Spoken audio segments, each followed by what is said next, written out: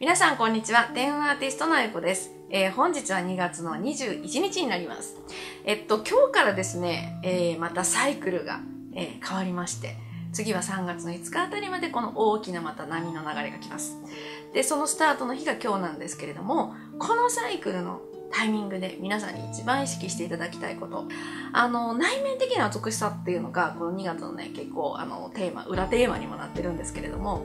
この内面的な美しさを、えー、皆さんに、えー、意識していただく方法として、えー、もちろん人に優しく接するとか、あの、何か一声ちょっと褒め言葉をかけるとか、まあそういうようなお話もしてきましたけれども、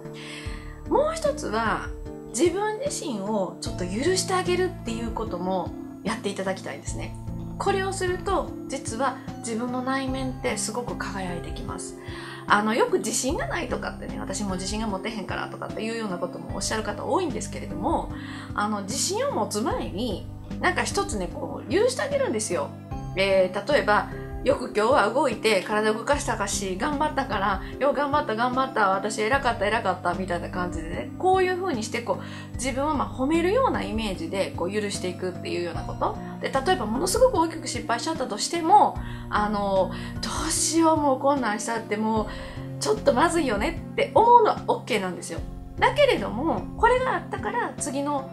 ステップに進める進める進めるからまあこれはこれでええかよっしゃみたいな感じでねこう一つずつ許していってあげるっていうことをできればしていただきたいです。これはゆくゆくはご自身の内面の美しさにつながっていく行為なので是非皆様それをちょっと意識して2月ももう間もなく終わりますけれども、えー、次のサイクルの3月の初めあたりまではそのことを意識して過ごしていただきたいなと思います。それでは今日の天運カラーと天運ナンバーなんですけれども今日はですねえー、赤です。そして数字は5になります。今日は数字の方をちょっと意識していただきたいんですけれども、まあ、心を許すっていう意味合いとちょっと似てるんですが、あの自由に解放して、